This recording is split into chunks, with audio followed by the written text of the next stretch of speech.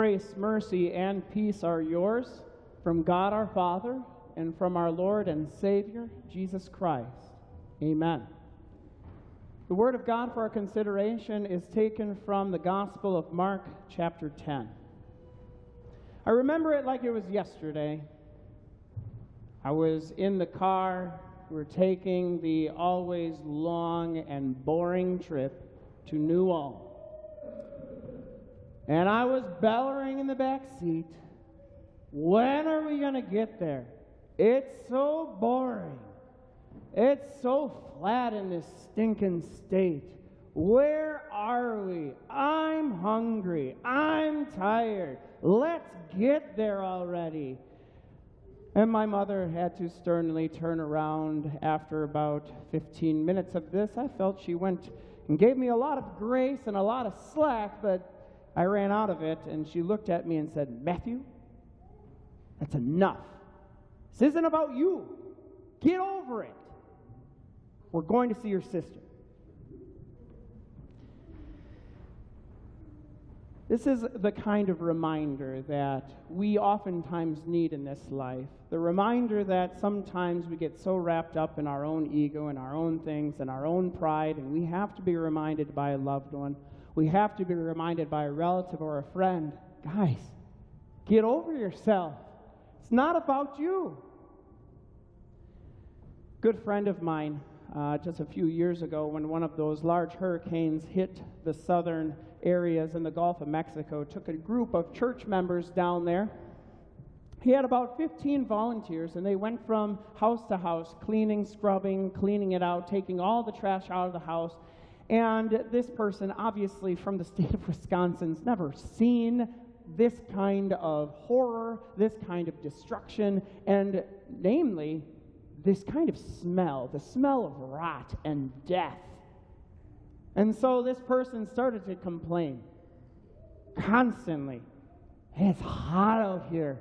Oh, and it smells so bad. And when is supper? When do we get a break? And on and on this person went. And so the pastor had to be the bad guy, and he went up to this person and said, uh, You do realize this has nothing to do with you. You do realize that these people have had their homes destroyed. You do realize that we came down here to be servants, to serve. And ironically, we came down here so that we could mimic the actions of our Savior Himself, to be like Christ. Please get over yourself. These are words that our sinful nature and our ego and our pride don't like to hear. These are words that we honestly hear and we sometimes just scowl avoid, shrug our shoulders, and say, well, but we need to hear it. And today, there are a couple of other men in our lesson that needed to hear it as well. You see, James and John, they went up to Jesus and they wanted to ask him a question. And this question that they wanted to ask him, they wanted him to say yes. You can hear that in the way they approached him. Teacher, they said, we want you to do for us whatever we ask. Now, I've asked a lot of things from a lot of people throughout my years, and I believe that this probably is the most unsuccessful way of getting whatever you need done. I don't think I've ever approached my mom in that way. She probably would have hit me upside the head.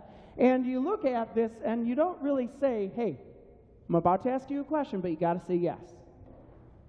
What kind of person would ever say, oh, okay, yeah, yeah, whatever it is, then yes, I answer yes? Well, no. Nobody does that. And so Jesus, he remains noncommittal, and he says, Well, what do you want me to do for you? He asked. And they replied, Let one of us sit at your right and the other at your left in your glory. Now, to understand this, they were looking for something. They were looking for their own position of glory and honor. They wanted to be somehow a little higher up than the other ten. They wanted to separate themselves in some way. And to think about this, I mean, when they're looking for this glory and this laud and this honor all for themselves, it really is to compare themselves, isn't it? They wanted something that the other 10 wouldn't get. And wouldn't you believe that if our human nature hears this kind of thing, what do you think you would do with it? Jesus said, I get to sit at his right, and, and my brother over here, he gets to sit at his left. Na, na, na, na, na, that's mine. Yes, indeedy. You didn't get it. I did. That's the kind of sinful pride that we have. And each one of us has it. Each one of us compares ourselves to each other, and we want to think that there is some greater thing in store for us because we are so much better. Kind of like the Pharisee and the tax collector, right? You have in the temple of God, and one saying, Hey, God, you're lucky that I am one of your guys, man. But I'm not like that tax collector over there. We sometimes approach God in a bit of a prideful and we're wrapped up in ourselves, and our ego needs to be put in its place. And we need to be reminded get over yourself. It's not about you. James and John had to be reminded that as well. Jesus says, You don't know what you are asking. Jesus said, Can you drink the cup I drink, or be baptized with the baptism I am baptized with? We can, they answered. Jesus said to them, you will drink the cup I drink and be baptized with the baptism I am baptized with. But to sit at my right or left is not for me to grant. These places belong to those for whom they have been prepared. And when the ten heard about this, they became indignant with James and John. So here we are. We have this little conversation. James and John, they are convinced that they can indeed drink the cup that Jesus is going to drink and be baptized in the same baptism that Jesus was. They believe that they have full rights to this place of glory in God's glory. And then all of a sudden, the other 10 disciples hear about it. They become indignant. Some say they became indignant because they were a team, and so all 12 of them were on the same team, and they were all of a sudden off the team, they were going apart from the rest of the group. But in all honesty, when you look at it from our own human nature, what do you think happened? Maybe they were indignant because maybe all 10 of those guys didn't think about asking Jesus the same question sooner than these two buddies. Maybe they were actually indignant because, oh man, I was going to ask Jesus to have that place of glory. No, James and John asked him. You see, when it comes to our sinful nature, when it comes to our ego, it needs to be put in its place.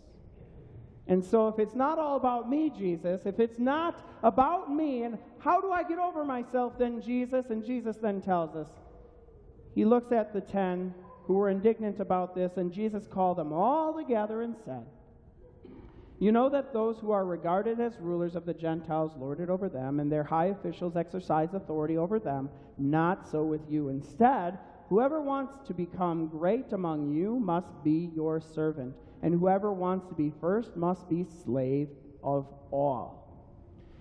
So the Lord Jesus shows them this position that you are seeking is not one for you to have, but if you want to be great, if you want to be first, if you want to be this, you got to be a servant. You got to be a slave. He also gives us an insight to James and John and their motivation. Because all of a sudden he points out, you know, it's the Gentiles and the high officials that lord their authority over other people, but not you guys. You see, he's pointing out to the 12 disciples who are there Guys, this isn't about ranking. We're not trying to see which place we have amongst each other. Has nothing to do with you. Get over yourselves. Has everything to be about being a servant. Now, when we look at this section, a lot of people would like to say, well, Jesus is teaching them humility. And in part, he is, but it's more than that. Jesus just isn't saying, hey, if you guys need to be humbled, you should be a servant for a day or a slave for a day, and that will teach you something that you will then be able to take with you the rest of your life. That's not what Jesus is saying. Jesus is saying that we ought to take upon ourselves this attitude, this life transformation that we're not supposed to just simply view the qualities of what it is like to be a slave or a servant, but that we should literally transform our lives to have it be a life of service. We don't like hearing that because, again, our ego shouts out, well, if I'm serving others, what about me? Everything in the world is about me. How is this going to work out for me? The Lord Jesus shows us. He shows us that indeed, to be a servant, we must be like Christ. And he compares then the servant to himself. The Son of Man did not come to be served, but to serve, and to give his life as a ransom for many. Jesus Christ our Lord came into this world to put on display for us a servant like attitude that none of us could even fathom. To think that you would wake up every single day and perform all the actions that you would, not for yourself. That is what Jesus did. Every single day, he woke up and went about his life, living it perfectly, not for himself, but for you and for me. Every single day, the servant of Jesus Christ woke up and did everything, fought against every temptation, not for himself, but for you and for me. He went to the cross and he died there, a servant to you and to me, to do what you and I could not do. Indeed, Jesus Christ shows us what it's like to be a servant what it's like to look at the mass of humanity and do everything not for himself, but for them. To pour out of his own effort everything for all mankind, to rescue us from our sins, to do everything for each and every one of us. That's what it's like to be a servant. That's what it's like to get over yourself and realize it's not about you, it's about being a servant like Christ. So, what do you do with that? What do you do when you see how you can live your life as a forgiven Christian? One who has been shown the example of what it's like to be a perfect servant, putting the needs of others far ahead of your own. Jesus says, then, use it. Go out and use this and be a servant to the people around you. Because there are plenty in this world, and we can see them, who all they do is serve themselves. They're wrapped up in that me first mentality. They don't know God, and they don't know anything about this heaven or hell because they just simply view this as eat, drink, and be merry, and tomorrow I'll die. You have been given the gospel. You have been given the opportunity. You have been shown by Jesus Himself what it is to be a servant. So go. Go and share this message with your friends and your family and your neighbors. Go and grow in this message at home. Open up your Bibles and make sure this is not just a Sunday thing, but a daily thing. Go and serve. Serving by spreading the gospel with your own mouths in this community. Indeed, to hear this reminder today is one that we should always hear each and every other day that we got to get over ourselves. We got to get over the fact that it's not about me. We got to get over that because Christ came into this world to rescue us, to be the ransom for all sin for us. That Jesus Christ came into this world so that he could save us, so that we could be equipped to go about in spreading that saving message to others. So, friends, let's get over ourselves, okay? Let us actually think about others instead of ourselves. Let us put on Christ. As he has draped his robe of righteousness on us, let us wear him proudly in our community, showing others, spreading the news to others that it's about them. It's about the lost souls in this world, that they too may be found. Amen.